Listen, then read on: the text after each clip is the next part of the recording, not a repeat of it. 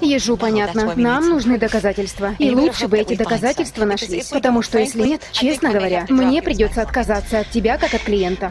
Но ты же моя мать. Да, я твоя мать. Но знаешь что? Это для твоего же блага. Это реальный мир, Келли. Понятно? А не радужный мыльный пузырь, который я для тебя создала. Это не моя вина. Я свою работу сделала. Сделала для тебя. А ты облажалась. Я рассчитывала на тебя. А ты облажалась, Келли. Вот и все. Мам, пожалуйста, мам! Thank you.